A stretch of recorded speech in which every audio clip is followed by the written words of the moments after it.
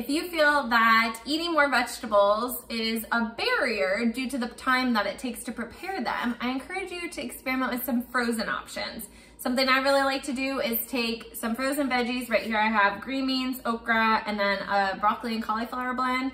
Put them in the pan in the morning, let them thaw, and then when it comes to dinner time, all I have to do is heat them for a very short period of time, or if I really wanted to, I could eat them at room temperature. So give it a try. I recommend these specific vegetables that I mentioned are my top go-tos for texture when it comes to frozen veggies, but experiment with some other ones and hopefully you can up your veggie intake and your overall health. Enjoy the rest of your day and eat healthy.